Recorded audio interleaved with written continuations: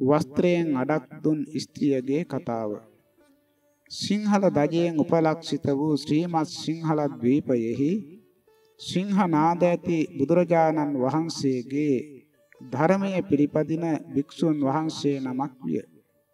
සිංහයෙකු මෙන් නිර්භීතව තැති ගැනීම නැතිව සංකා නැතිව තුන්යම් රයෙහි භාවනා කළ හෙතෙමේ පිඩු පිණිස වැඩියේය. එසේ වඩින භික්ෂුන් වහන්සේ දුටු සොරෙක් උන්වහන්සේගේ පාත්‍රා සිවුරු ආදී සියල්ල පැහැරගෙන ගියේය. උන්වහන්සේ කොලාතු ඇඳගෙන සංසුන් ලෙස ගමන් කළේය. කිසිවෙක් උන්වහන්සේ හැඳින නොගත්තේය. එක් ස්ත්‍රියක් දියට බැස නාන්නේ වස්ත්‍ර රහිතව කොළ ඇඳගෙන යන උන්වහන්සේ දැක මෙසේ කීය. ස්වාමීනි ඔය ගොඩ තිබෙන වස්ත්‍රයේ දෙකට ඉරා භාගයක් ගත මැනවි. ඉතිරි කොටස මට වන්නේය.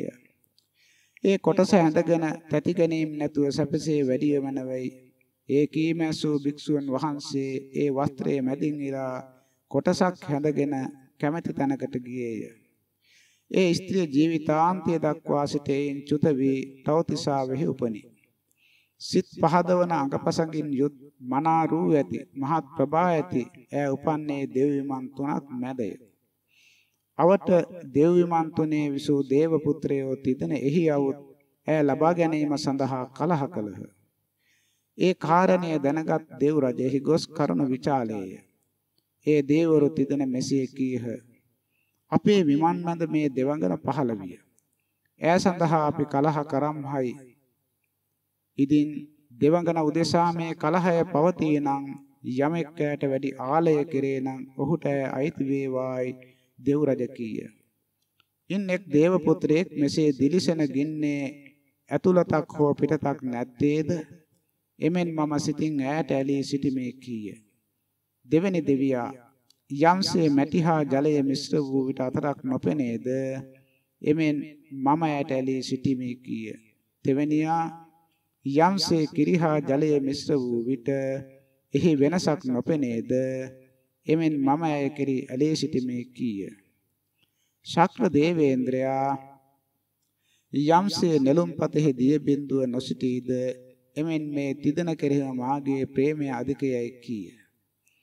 ඕතමෝ සතුරු සිතැතිව ඇඳලි බැඳගෙන දේව් රජ කරා අවුත් ඔහු පසුපස්සේ ගොස් ඔහුගේ භාර්යාව බවට පත් වූවාය.